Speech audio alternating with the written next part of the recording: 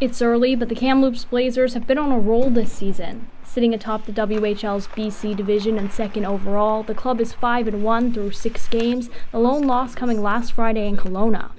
Blazers head coach and general manager Shaun Clouston says his team is in a good position this season with older, practiced players filling out the team. He says the Blazers have had a good start, but it's too early in the season to be comfortable. The team recently cracked the CHL's top 10 list for the first time this season, and according to the coach, feels good to be recognized for the performance so far. Forward Logan Stankoven, who was named one of the team's co captains this week, says the ranking is icing on the cake, and he's grateful for it, but the team can't take its eye off the puck just yet. The Blazers are coming off back to back BC Division titles, but they both came in pandemic seasons with no playoffs and no Memorial Cup. The team will be looking to hold on to its spot atop the WHL's BC division on Friday when the Vancouver Giants visit Sandman Centre. The puck drops at 7. For Castanet Kamloops, I'm Sydney Chisholm.